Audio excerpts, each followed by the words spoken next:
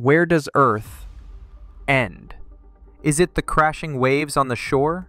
The last peak of a mountain?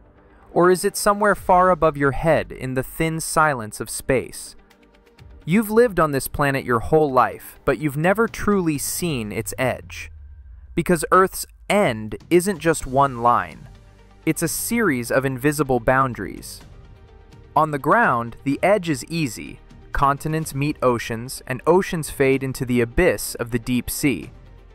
But look up, and the question gets trickier. Our breathable atmosphere stretches about 60 miles high. Past that, the air thins to nothing. This line, the Kármán line, is what scientists call the start of space. But Earth's influence doesn't stop there.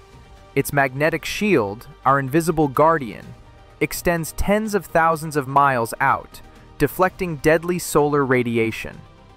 And even that isn't the true end. Because Earth's gravity clings to objects almost a million miles away. So where does Earth end? At the shoreline? The edge of the atmosphere? The reach of its gravity? The truth is, Earth never really ends. It just fades into the vast ocean of space, carrying us with it. And maybe that's the point. Our home is bigger than we think, and its borders aren't walls. They're horizons waiting to be crossed. Next time you look up at the sky, remember, you're already standing on the edge of space.